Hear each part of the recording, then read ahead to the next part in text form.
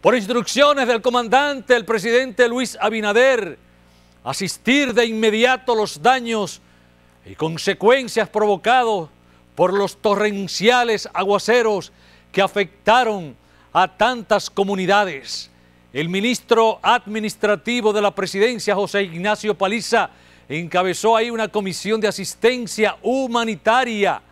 Paliza dijo que la gran mayoría de, y gran parte de los daños fueron en cuatro puentes, además de unas 40 familias, 15 de ellas con un mayor impacto. Resaltó la rápida intervención del Ministerio de Obras Públicas en el restablecimiento del tránsito sobre los puentes Arroyo Grande y Don Bolívar, los cuales fueron semidestruidos por esas crecientes del río Manabao.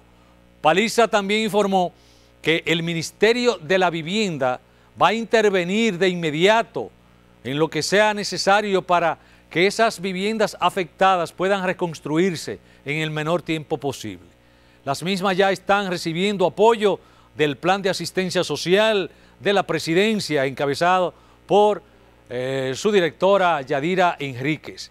Las familias afectadas están recibiendo también raciones alimenticias conjuntamente con la entrega de colchones, mosquiteros, enseres del hogar, todo lo que sea necesario y todo eso que usted tiene en la casa que no sirve, envíelo a esa gente. Somos dominicanos, apoyamos a los dominicanos. Cuando estamos en desgracia, ¿eh? nos convertimos en uno. Así es que vamos a apoyarlos. Presidente de la República, quien les habla, en compañía de doña Yadira Enríquez, del general Juan Manuel Méndez, de la viceministra Mili Pérez de Interior y Policía, de nuestra señora gobernadora, de los representantes regionales de, obras públicas y de otras entidades gubernamentales hemos dicho presente para constatar la, la magnitud de los daños acaecidos como consecuencia del fenómeno meteorológico que en el día de ayer afectó a esta comunidad de Manabao de manera particular la cantidad de, agua y las avenidas de, sus ríos que pusieron en riesgo a los dos puentes que dan acceso a Manabao, así como eh, deterioraron fundamentalmente las, infraestructuras físicas que comunican al, distrito, pero así también del distrito por las partes rurales y productivas de la misma.